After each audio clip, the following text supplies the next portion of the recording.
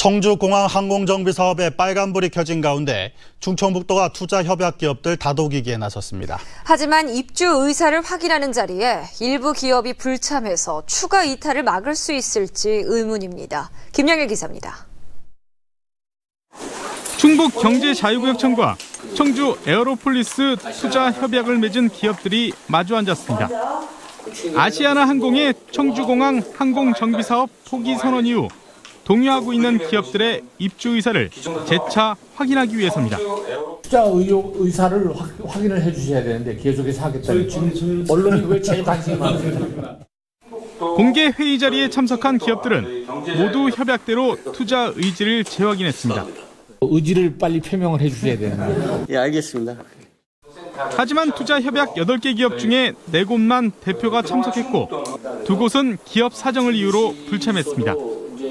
또 참여 기업에게 입주 의향서 서명까지 받았지만 법적 구속력은 없습니다. 희망적이지 못하죠. 안 들어오는 확률이 있는 업체들 많아요, 거기. 한국이가 수리 하나 안 오는데 또 늘어날 게 없잖아요, 일가. 일부 기업은 투자 의사를 재확인하는 보여주기식 간담회 자체를 불편해했습니다. 목적은 불러놓고서 그러니까 표시내는 거죠. 아시아나가 안 해도 한다고 한다 이런 거 그게 다예요 그냥.